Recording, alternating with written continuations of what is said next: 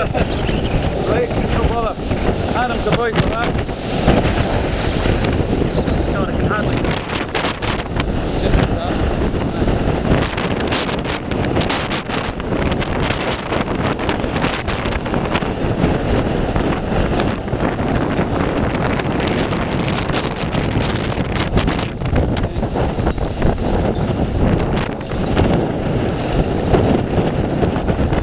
Just guys, I think. Rodrigo Santos.